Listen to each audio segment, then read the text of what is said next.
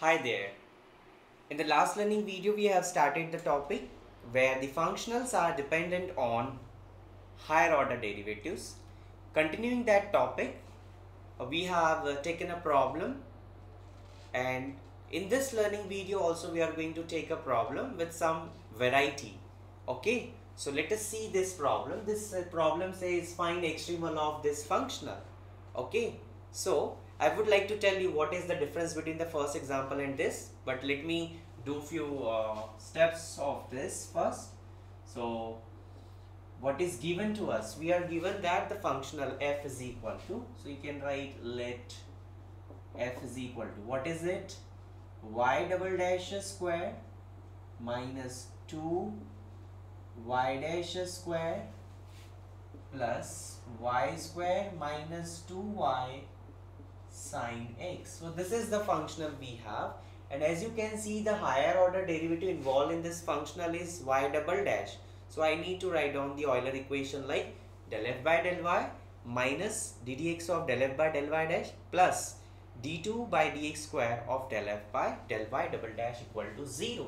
So what I need to find out is first of all del f by del y what is del f by del y? Is there a term of y? No. Is there a term of y? No. Yes. There are terms of y over here. So what is the derivative of y square 2y minus derivative of this with respect to y. So rest of the thing is constant. So this is minus 2 sine x. Okay. Now what is uh, next we have to find out del f by del y dash. So what is del f by del y dash? There is a term of y dash over here. So minus 2 and derivative of y dash square is 2y dash. And that is minus 4y dash. And then we have del f by we have to find out del f by del y double dash. And there is a term of y double dash in the uh, the very first term in f. So its derivative is 2y double dash. Is it okay so whenever you have find out uh, problems on this type, so the very first step you can do is write down the function f and find out all the derivatives. Step number one over. Okay. Next you have to write down the uh, Euler's equation. So extremals are given by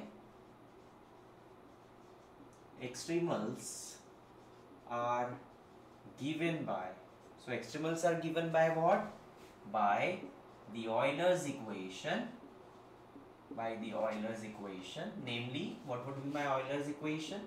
Del f by del y minus ddx of del f by del y dash plus d2 by dx square of del f by del y double dash is equal to 0 simple now you have the values or derivatives that we have found out. You have the Euler's equation substitute.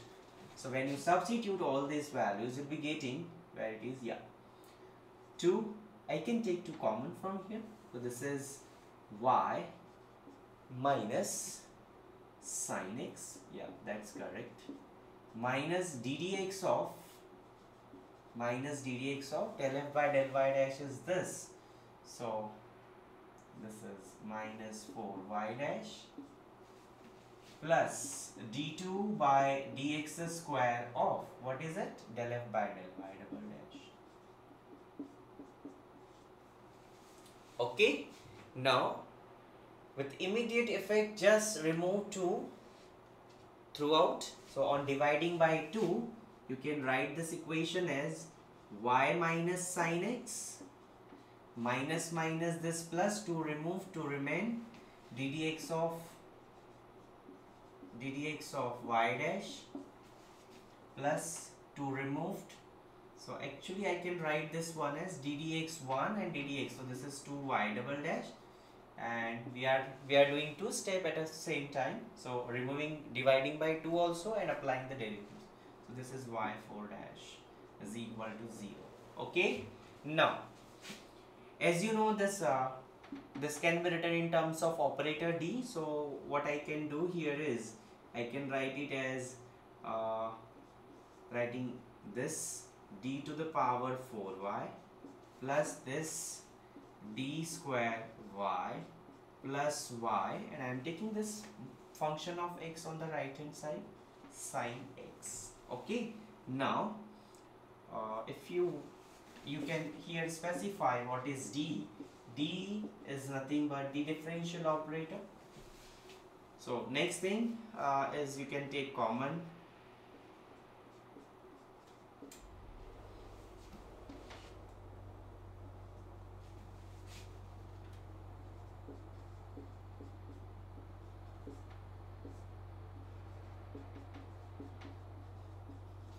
we have this equation. In the last problem that we have taken in the last learning video.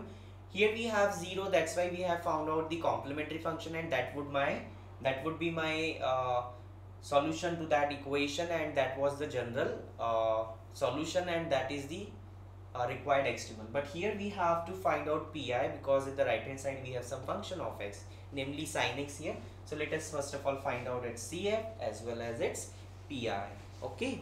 So okay. So its auxiliary equation is its auxiliary equation is what is its auxiliary equation? Put d is equal to m. So m power 4 2m square plus 1 is equal to 0 now this is m square plus 1 whole square right? Yes m square plus 1 whole square. M square plus 1 whole square. Is it? So you can find out actually with the help of calculator. This is m square plus 1 is equal to 0 twice. So m square plus 1 equal to 0 so m square m square is equal to minus 1 therefore m is equal to plus minus i but it was a square. So two times you have to write down. Plus minus i and plus minus i. So these are the uh, roots i am getting. You can actually directly write here. After this uh, auxiliary equation you can make use of the calculator and you can just write m is equal to plus minus i and plus minus i. Okay? Now after you uh, get that uh, things like the roots you can certainly write down the complementary function. So let me write down the complementary function for the roots plus minus i. So see as you can see the nature of the root is plus minus i that is complex. So it falls under the third rule of uh, complementary function which says write down it like uh, e to the power 0x into c1 cos x plus c2 sin x. And as the roots are repeated so I can multiply by x e to the power 0x c3 cos x plus c4 sin x. Okay you can write like that is the cf is equal to e to the power 0 is 1 so this is c1 cos x plus c2 sin x plus x into c3 cos x plus x into c4 sin x. You can combine. Therefore cf is equal to c1 plus c3x times cos x collecting the like terms and then the remaining one C2 plus C4x sine x okay so this is my CF now what I am going to find out is the PI okay?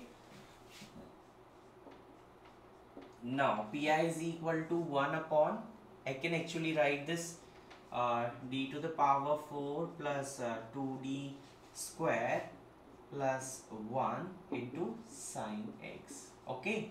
Now we have sine x on the right hand side. So this uh, falls under the second rule of pi which says put d square is equal to minus of a. A means coefficient of x. So minus of 1 square that is minus 1 we get so what we get?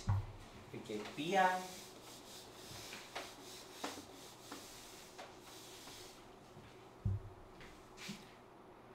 pi is equal to 1 upon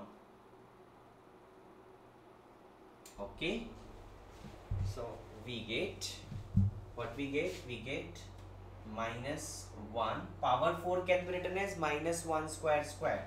So minus 1 square because d square is minus 1 so minus 1 square. Writing power 4 as d square square okay? Then plus plus 2 into d square is minus 1 plus 1 so what it gives you? Minus 2 plus 2 0 case fails. So case fails. So whenever case fails then what we do? We apply the mantra of case failure case of failure which says multiply numerator by x differentiate denominator with respect to d. Okay? Into right hand side as it is simple. Now what you can do is you can just take uh, d outside 1d common. So you can write it as 1 upon 4d common. So this is d square plus 1 into sine x. Again substitute d square as minus 1 again it would be 0 so again you can write put d square is equal to minus 1 minus of 1 whole square that is minus 1 we get we get 4 into d into d square plus 1 is equal to 4 into we cannot substitute the value of d minus 1 plus 1 equal to 0 so again 0 again case fails. Okay so if case fails again apply case of failure. So this is multiply numerator by x again. So it becomes now x square into uh, I'm gonna differentiate this. So this would be because it is easy to differentiate. So this is 12 d square plus 4 into sine x. Again put d square is equal to minus 1 the moment you put d square equal to minus 1 so denominator is not comes out to be 0 so you'll be getting your you'll be getting your pi or here. So what is my pi? My pi is x square by minus 8 into sine x. Okay? If you want me i can write it precisely minus x square by 8 into sine x. Okay so this is my pi so i have got my c i have found out just now the pi so I can write down the general solution. Therefore, the general solution is